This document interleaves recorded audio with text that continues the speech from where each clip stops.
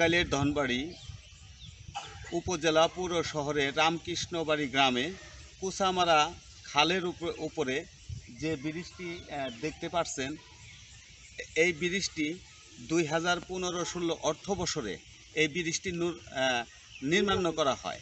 অথচ এই ব্রিজটি দেখতে পাচ্ছেন যে দুই পাশে এখন পর্যন্ত মানে কোনো রাস্তা করা হয়নি। এখানে ব্রিজের পূর্ব পাশে রামকৃষ্ণবাড়ি মিয়াপাড়া এবং ব্রিজের পশ্চিম পাশে রামকৃষ্ণবাড়ি রূপশান্তি। এরই মাঝে এই ব্রিজটি এই এলাকার জনসাধারণ যাতায়াতের জন্যই এই ব্রিজটি নির্মাণ করা হয়। এখানে ব্রিজের পশ্চিম পাশে সরকারি প্রাইমারি স্কুল, প্রাইমারি স্কুলে বিভিন্ন ছেলেমেয়েরা এই ব্রিজের উপর দিয়ে যাতায়াত করতে পারছে না। এদের দুই কিলো বা তিন কিলো ঘুরে ওই স্কুলে তাদের যাইতে হচ্ছে।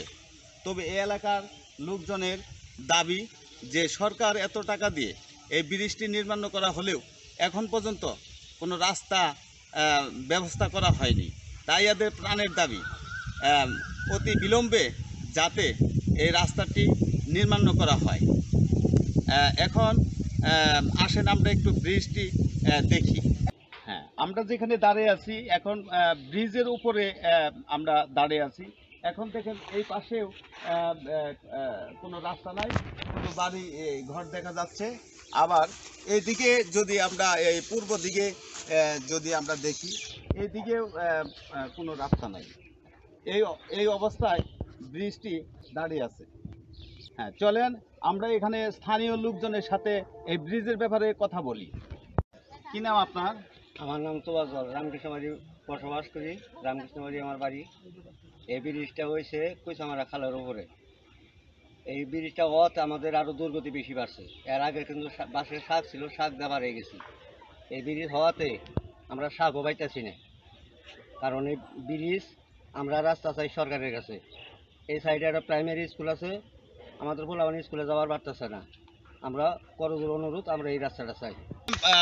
ভাইয়ের যে কথা যে এখানে দীর্ঘদিন ধরে বৃষ্টি হলেও এই রামকৃষ্ণবাড়ি ব্রিজের পূর্ব পাশে মিয়াপাড়া গ্রামের ছেলেমেয়েরা পশ্চিম এই ব্রিজের পশ্চিম পাশে যে একটা সরকারি প্রাইমারি স্কুল আছে, অনেক ছেলেমেয়েরা এই এই রাস্তা দিয়ে যাতায়াত করে। অথচ এই ব্রিজের রাস্তা না থাকার কারণে বর্ষাকালে শুধু ব্রিজটি দাঁড়িয়ে থাকে। এখানে কোনো এখন পর্যন্ত কোনো মানে সরকারের বা প্রশাসনের কোনো হস্তক্ষেপ হয় নাই বিদায়। তারা চাচ্ছে যে আহ, যাতে এটা তাড়াতাড়ি আমাদের রাস্তাটা হয়ে যায়। এই ব্রিজ হওয়াতে আরও আমরা ছয় সাত বছর ধরে ভোগান্তিতে আছি। আমরা শাক পাই না ব্রিজে যাতায়াত করতে পারি না। ব্রিজের উপর আটোবাইন হয়ে যায়। কি নাম আপনার? সামিউল হক মিয়া। আচ্ছা স্বামী স্বামীউল হক মিয়া আপনাদের আপনার বাড়ি কোথায়? আমার এই পাশে হ্যাঁ। ডাক নাম আচ্ছা আপনি এই ব্রিজ সম্পর্কে কিছু বলেন। আসলে ব্রিজটা মানে পরিকল্পিতভাবে হয় নাই সম্ভবত। আর পরিকল্পিত হইলেও যে দ্রুত যে কাজের যে একটা ইয়া ছিল, এটা না করার কারণে এলাকাবাসীর মানে উন্নয়নের স্বার্থে কাজটা করতে যে আরও বরঞ্চ মানে এলাকাবাসীর দুর্ভোগের কারণ হয়ে দাঁড়িয়েছে। কারণ এই যে সামান্য বৃষ্টিতে, কাদাতে সাধারণ মানুষগুলা যাতায়াত করা, স্কুলে পোলাপানগুলা যাতায়াত করা, এইখান থেকে এ বাড়ি থেকে এখানে স্কুল একশো গজ হতে পারে। তো এই যে দুর্ভোগের কারণে বৃষ্টি করা হয়ে গেছিল, সংযোগ সেতু সড়ক নাই, এদিকে সংযোগ আপনারা দেখছেন, দেখবেন। এই পাশে সংযোগ সড়ক নাই, এই পাশে সংযোগ সড়ক নাই।